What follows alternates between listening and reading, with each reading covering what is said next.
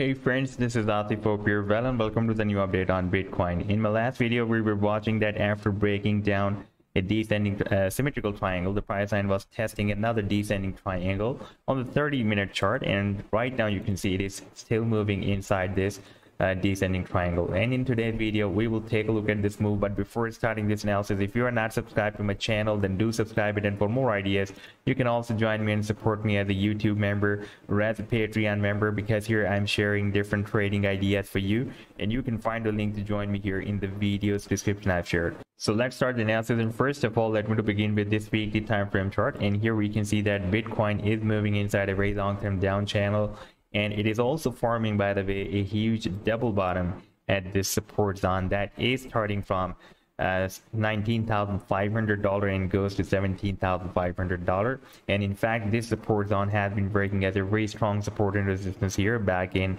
uh, November 2020 and even here in December 2017 as well. Therefore, again, it is breaking as a nice support. When we tested the supports on here back in May, uh, June 2022, we had a nice bounce, but rejected by the resistance of this uh, down channel. Again, we are testing this support zone, and now we are struggling to break out this resistance of $19,500 as well.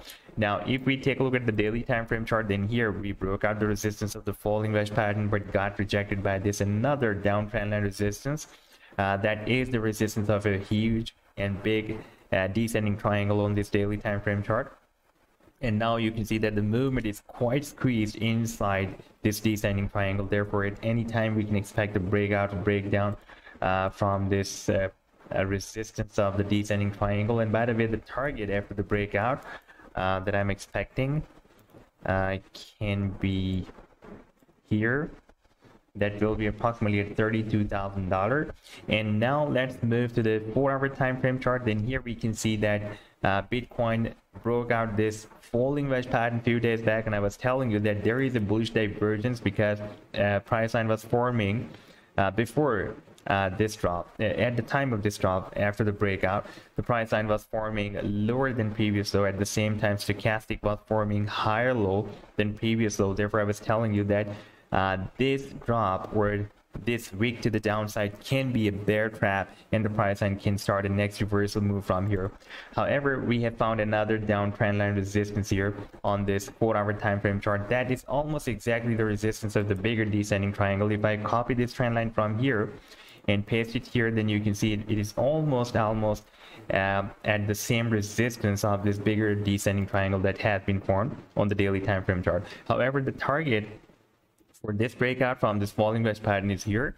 At the top of the bed that will be approximately at $20,400 now if we take a look at this 30 minute chart then this was the uh, symmetrical triangle that I was showing you in my previous video. Uh, and you can see we had a fake out but finally we broke down the support of this symmetrical triangle. And after this breakdown we had a big fall and here we have found another horizontal support. And yesterday we were having this fake out to the downside but the price line recovered back and re-entered the same triangle but still struggling to break out this down trend line resistance. Now for example if the price line breaks out this uh, smaller triangle on this 30 minute chart then our target to the upside can be $19,500 and in that situation we can also try to break out this bigger resistance on this weekly time frame chart. And you can see that slightly above than this resistance we also have this resistance of the channel. And there will be a probability that we may also break out this resistance of the channel as well.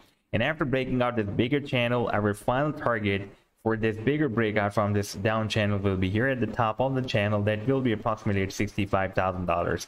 So this was the update so far. I hope that you've liked the analysis. Then do hit the like and do subscribe to the channel as well. And for more ideas, you can also join me and support me as a YouTube member or as a Patreon member because here I'm sharing different trading ideas for you. And you can find the link to join me here in the video's description I've shared. Take care. Goodbye.